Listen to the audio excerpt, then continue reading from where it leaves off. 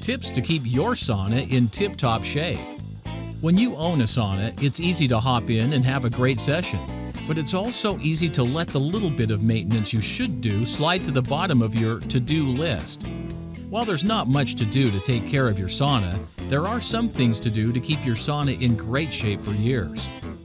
Clean the glass.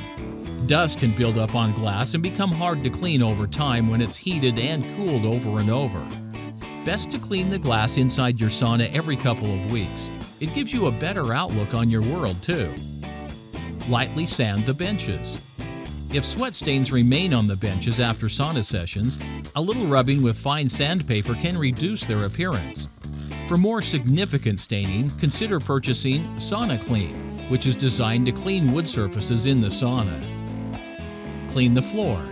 Sweaty feet can turn into stinky floors over time. If the floor is cement, tile, or linoleum, it's fine to use bleach to clean and disinfect.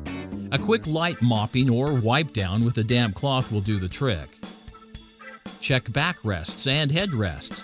If you notice staining on backrests and headrests, follow the same cleaning regimen suggested for the benches. A towel against a backrest or behind your head will prevent sweat stains from occurring. Clean buckets, ladles, and drip pans. If you have a traditional steam sauna, be sure to clean buckets, ladles, and drip pans regularly. To prevent staining and rust, use a CRL, calcium lime rust type cleaner to prevent marks from getting locked in by the heat. Be sure to empty your bucket after each session and place it outside the sauna to air dry.